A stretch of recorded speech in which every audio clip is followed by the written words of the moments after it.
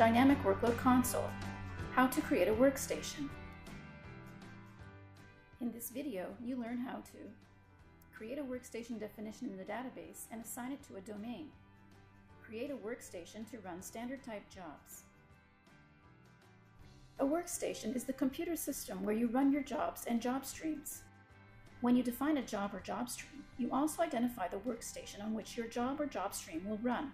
Workstation types include Master Domain Manager, Domain Manager, Fault Tolerant Agent, Extended Agent, Standard Agent, Workload Broker, Dynamic Agent, Pool, Dynamic Pool, and Remote Engine.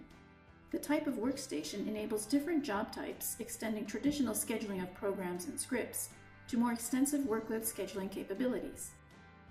In the search text box, we perform a keyword search to locate the page for creating a workstation. Here, we specify the engine on which Workload Scheduler is installed and click Create Workstation. When we create a workstation definition, we specify a set of characteristics that uniquely identify the workstation and control how jobs are run on it. Now, we need to assign the new workstation to a domain. Instead of choosing the existing Master Domain Manager, we assign our workstation to a new domain. We create it by clicking New. We specify a name and description for the new domain.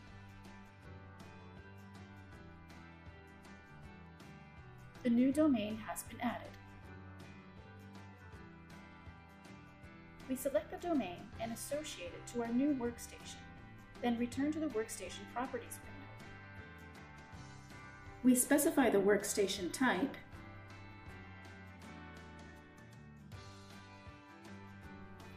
and operating system.